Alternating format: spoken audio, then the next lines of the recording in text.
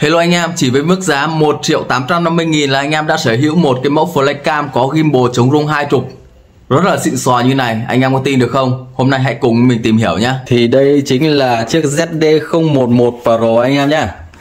Đấy, mọi người thể nhìn thấy là bên ngoài của nó có một cái ba lô rất là thời trang luôn, có cả quay à, sách này, có cả quay đeo luôn nhá, rất là thời trang luôn anh em nhé. Đấy, thì với cái mức giá tầm khoảng uh, từ 2 triệu mình chưa thấy con nào mà có một cái ba lô xịn sói này chứ đừng nói là 1 triệu 850 nghìn. Bây giờ mình sẽ mở hộp ra nhé unbox ra. Đây là mẫu hoàn toàn mới là đầu tiên xuất hiện tại Việt Nam. Anh em có thể nhìn thấy bên trong nhà sản xuất họ rất là cầu kỳ cẩn thận luôn nhé thì uh, có một cái mút xốp này đặt ở trên ờ, tất cả thành phần này để bảo vệ cho các linh kiện bên trong. Đấy, ở trên này có sách hướng dẫn. Đây mình sẽ mở cái này ra. Có sách hướng dẫn này. Đấy, có hai tờ một tờ hướng dẫn tải app một tờ hướng dẫn cách sử dụng flycam cho đúng cách. Thì những cái này nó nó là thông thường rồi. Cái bộ nào nó cũng có mẫu nào cũng có. Này thì không có gì để nói đến. À, đây anh em có thể nhìn thấy là những cái thành phần ở bên trong này nó đựng ở một cái khay xốp. Khay xốp này rất là dày dặn và mềm anh em ạ. Bảo vệ rất là tốt luôn nhé thì mình thấy nhà sản xuất họ rất là chu đáo. 1 triệu 850 nghìn thôi mà bảo vệ cứ như là những cái mẫu tầm phân khúc 3 triệu ấy. Đây là flycam đây úp bằng một cái miếng ờ, xốp ở bên trên nhé mở ra này. Đấy, còn đây là một uh, cái hộp pin. Hộp pin trong này có viên pin thì mình đã lấy pin và mình nhét vào flycam rồi. Còn ở đây nó có những cái khay để mà anh em uh, ví dụ mua thêm pin đút vào đây. Đấy, ở đây có một khay này. Ở đây có một cái khay này. Nói chung đây là những cái khay trống. Đây có một cái khe này. Khe này rất là to không biết là để cái gì anh em ạ. Đây. Đấy. đây là nó thiết kế những cái chỗ trống để anh em có thể uh, lôi ra anh em bỏ những cái thành phần vào. Đây là hộp phụ kiện này mình sẽ đi từ những cái râu ria trước nha sau tí mình sẽ đi flycam. Hộp phụ kiện của nó xem có gì nào. Hộp phụ kiện của nó thì uh, họ làm rất là cẩn thận anh ạ. Đựng hết trong hộp cắt tông. Rồi đấy hộp phụ kiện. Đây sẽ gồm uh, cánh dự phòng anh em nhé cánh dự phòng này dây cáp sạc này ốc này tô vít các kiểu. Cũng giống như những mẫu khác đây là cái tay cầm điều khiển của nó. Đây mình bỏ này ra cho dễ nhìn. Tay cầm điều khiển đây anh em nhé. Cái tay cầm điều khiển này thì mọi người thể để ý là nó có màn hình LCD ở bên trên này. Để hiển thị thông số nhé. À, điện thoại thì anh em sẽ gắn ở trên này. Ở dưới này nó có hai cái báng cầm. Đây mọi người sẽ lôi cái báng này đây khá là chặt đấy. Phải đẩy mạnh. Đó cái báng cầm này thì giúp anh em cầm nó sẽ được uh, chắc chắn hơn cân đối hơn. Dễ điều khiển anh em nhé. Đấy, rất là dễ điều khiển luôn. Ở trên này thì mình có thể nhìn thấy những cái nút ví dụ như là GPS này nguồn này. Đây là uh, cân bằng lại flycam này return to home này. Cái này như kiểu là chế độ không đầu hay là gì ấy. Đây. Đây là lên ờ, xuống camera nhá. Còn bên này là speed nhá tăng giảm tốc độ. Đấy. và có một điều đặc biệt là cái mẫu này một triệu 850 nghìn. Có dây tín hiệu anten anh em ạ. Đấy anh em thấy chưa? Đây anten có dây tín hiệu luôn này thì phải nói thêm về cái dây tín hiệu anten này uh, cho mọi người một chút. Những cái mẫu nào mà nó có cái dây tín hiệu lên anten này thì ờ, sóng sánh của nó sẽ ổn hơn nhá nó sẽ khỏe hơn. Là những cái mẫu mà chỉ gọi anten ờ, treo giả này thường những cái mẫu giá rẻ thì anten nó chỉ là anten giả thôi nó sẽ không có cái dây điện dây tín hiệu lên trên. Những cái mẫu này là có.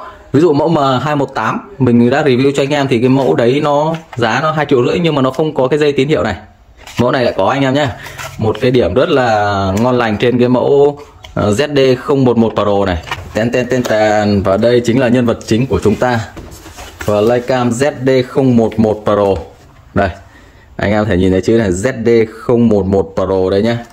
Thì ờ, mình thấy cái thân hình của con này nó rất là nhỏ gọn luôn. Trọng lượng của con này là 249g mình sẽ tung càng của nó ra. Đấy. trọng lượng của nó là 249g anh em nhé phù hợp với cái xu hướng thiết kế flycam mới là những cái mẫu nhỏ gọn ví dụ như DJI mini các thứ toàn 249g rồi thì những mẫu C Fly mini 1 mini 2 249g đó, rất là gọn nhẹ nhỏ gọn nhé thì đây mình quay một vòng cho anh em xem được cái ngoại hình của nó. Thì đầu tiên là mình có nhận xét về cái ngoại hình của con này thiết kế nhỏ gọn này rất là đẹp thời trang thiết kế rất là mềm mại anh em nhé Đấy, thì mọi người thấy là ở trên cái phần ờ, lưng của nó sẽ có một nút nguồn này. Đây là cái khay để lắp cảm biến chống va chạm.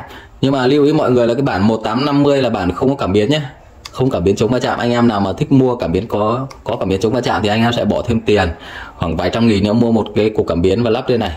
Và về sau mình sẽ về thêm cả cái bản mà uh, có cảm biến chống va chạm.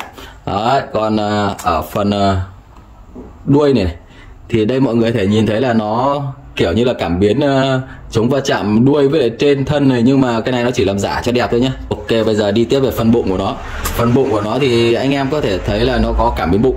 Đấy, camera quang học đây cảm biến bụng để giữ vị trí. Anh em có thể bay được trong nhà hoặc là giúp ổn định uh, vị trí khi mà ở những cái nơi GPS yếu hoặc là nơi tầm thấp nhé đây là hai cái cảm biến giả thôi. Dưới này thì có những cái hốc uh, để tản nhiệt cho mát ờ, các ờ, mạch bên trong. Ok, mình sẽ đi tiếp về viên pin của nó. Pin thì vẫn đút ở đằng sau đít nha. Viên pin này có dung lượng là 3800 mAh anh em nhé. Mình cầm thấy khá là đầm tay đấy. Thì mình nghĩ là cái thời gian bay của nó tầm 15 20 phút. Nói chung là những cái thông số này thì ờ, của mẫu giá rẻ, thông số ảo thôi. Sẽ phải test thực tế xem thời gian bay của nó bao nhiêu thì anh em sẽ chờ ở những cái video sau. Ok. À, nói thêm về cái phần thông số của nó thì động cơ thì là động cơ không đổi than. Đương nhiên với cái tầm giá tiền này thì chắc chắn là không đổi than rồi. Bây giờ những cái con tầm vài trăm nghìn đã không đổi than. Rồi thì có GPS mất sóng yếu pin tự động quay trở lại nhé có cảm biến bụng giữ vị trí. Rồi thì uh, có cảm biến chống va chạm nếu anh em bỏ thêm tiền. Đó tiếp đến là đi về phần camera anh em nhé cái phần này phần ờ, đáng mong chờ nhất. Đây.